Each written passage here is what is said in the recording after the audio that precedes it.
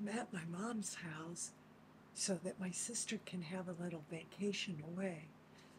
And you know, elder care is really a lot of work. I'm always humbled by how much there is to do. So right now I'm going to unload the dishwasher, so come on with me. My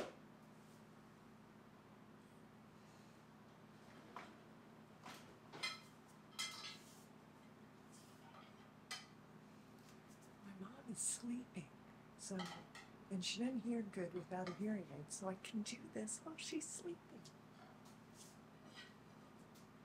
So, um, one thing I did while I was here at my mom is there was a bunch of grease on her um, oh, hood range top, and I thought, I'm going to be a great daughter, and I'm going to clean off all that grease.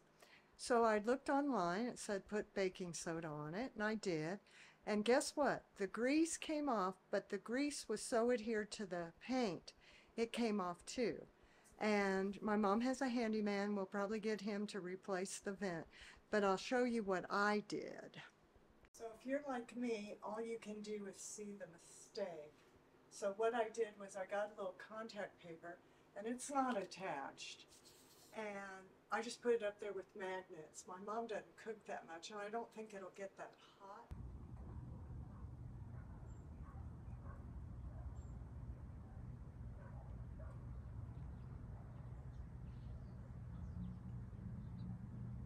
My sister said, You know, Irene, I'm doing a great job, and she is, but I don't like to dust. So while I'm giving my sister a two week vacation, I'm also giving her a two week vacation from dusting. My mother's been feather dusting, and I've been doing the heavy dusting. This is in a part of Texas where they get dust storms, and it's on the doors and the window frame. So that's what I'm going to start doing now. We didn't just do work when I was there. One Sunday, we went for a drive. My mother wanted to see the new memorial for the shooting of the people at Walmart on August 3rd. And it was a nice memorial, but the negative was there was no parking near it. So I had to park across the street at a nursing home and leave my mother in the car. It was hot, so we had to leave the car running with the air conditioning while I filmed the memorial. And then all my mom could do was watch the video. And I think that's a real shame to have memorials that are not accessible by people with disabilities or the elderly.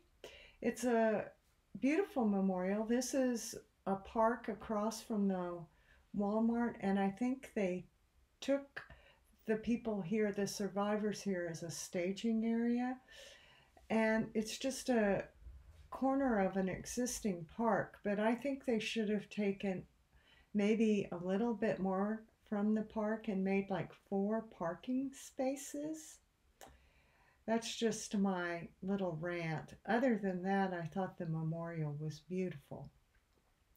After we went to this new memorial, we went to the one that Walmart did. Uh, Walmart did not close the store where the shooting occurred, but they made their own memorial, and it's good and it's bad. I mean, I think it's good to memorialize it. I always ask, what would Costco do if there had been a shooting at a Costco? What kind of memorial would they do? Would they keep the store open? They call this the Grand Candelabra, and I think it's made up of mm, candles, like each candle represents a person that was shot and killed. To me, from the freeway, it looks like a trash can, and up close, it looks like the barrel of a gun. And I think that's the wrong kind of memorial. It's also just jammed in the back of the Walmart parking lot. I think they could have done better. Good morning. It's Labor Day and I'm here in El Paso and I'm taking care of my mom for two weeks while my sister goes on a little vacation, a much needed vacation.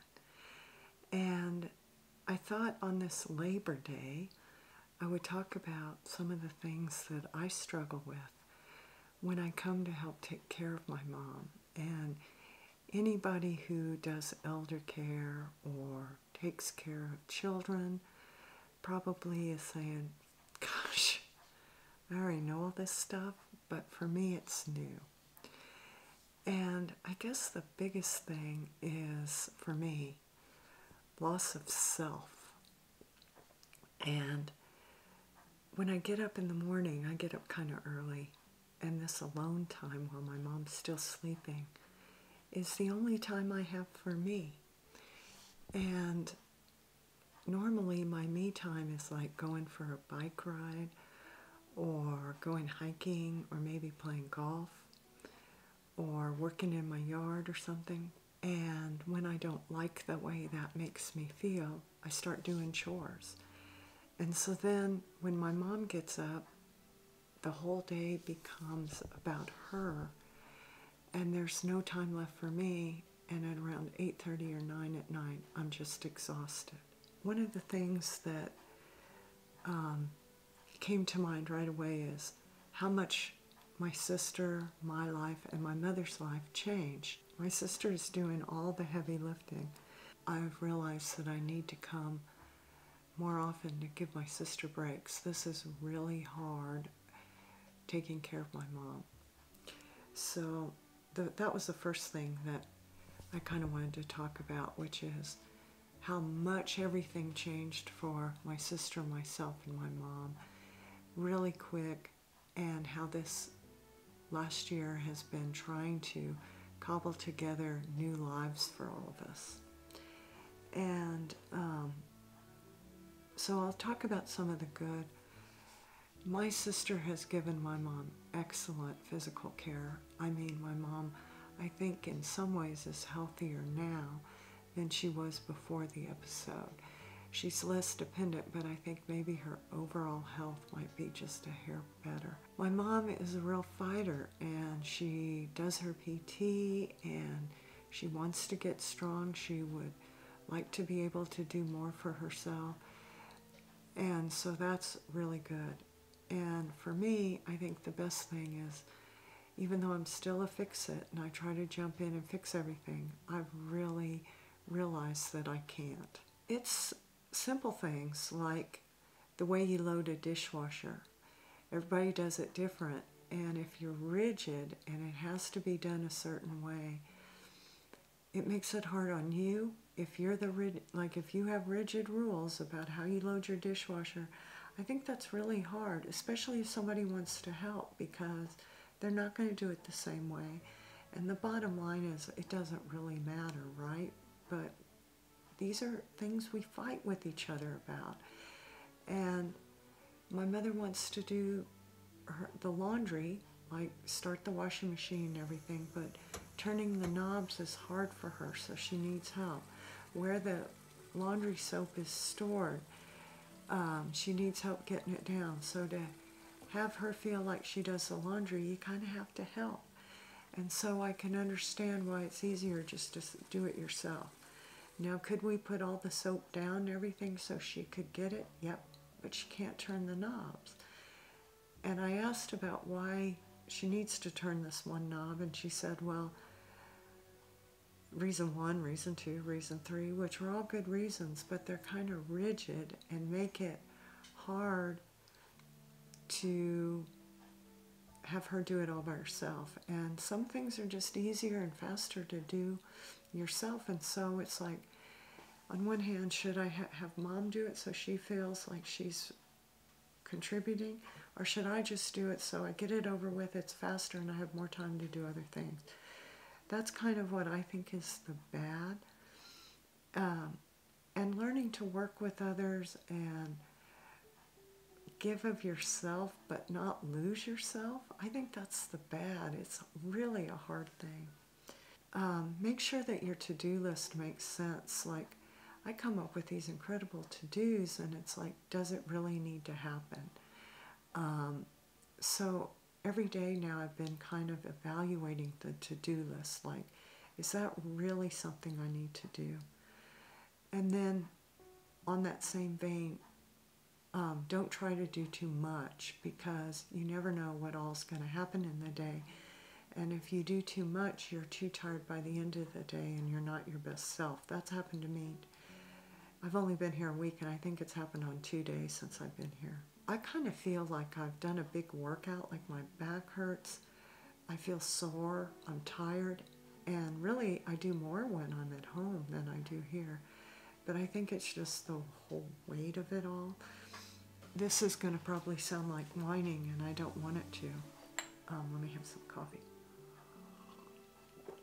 Oh, my mother wants to drive, go on a drive to Old Mesilla, and that'll be fun.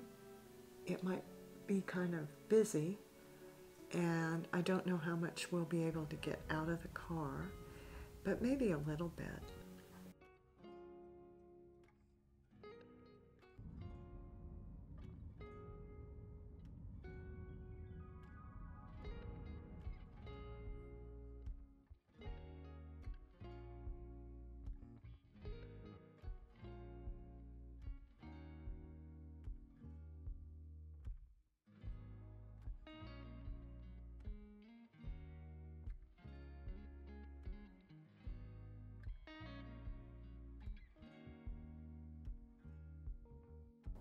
And thanks for letting me rant about elder care. We're all in this together, right?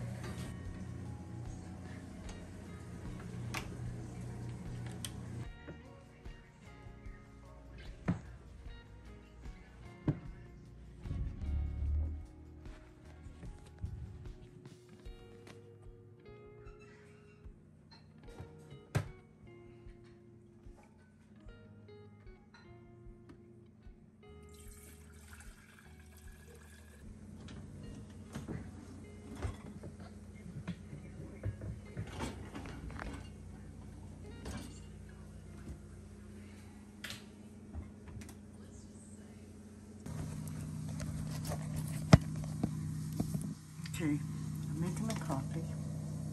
And I'm using my iPhone because I'm too freaking lazy to get the other phone out. And when I retire, I need to start drinking less coffee because I drink a lot.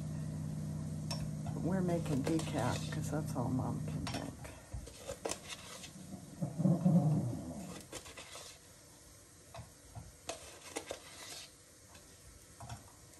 Let me just use cheap coffee. I like cheap coffee. I could have cheap coffee or Starbucks. I'd pick cheap coffee every time. We went on a lot of other outings. We saw a new church my mother wanted to see.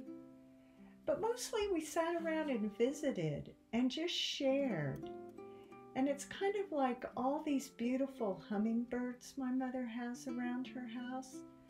They were just little pearls and good times and stories she shared about her mother And we did a lot that I didn't film because it was so fun just to be with my mom and enjoy her as she enjoyed me. And this is a picture of me as a kid. Thought I would throw that in there. It was time to leave, and at the El Paso airport, they had a um, museum sharing exhibit from Mexico. I liked it. Um, they were all decorated dogs. You could buy them. I didn't really see anything I had to buy, but I thought they were cool.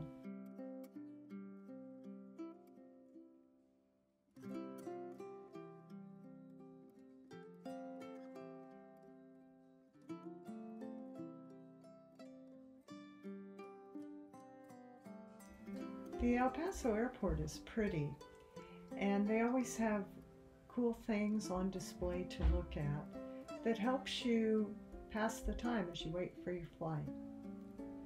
On the airplane, I watched the latest Color Purple. It was really good, and Karen and I even rented it when we got back, and I watched it again. It made the flight go really fast. When I got home, I decided to slow down once I got to work and enjoy the beauty around work at lunchtime.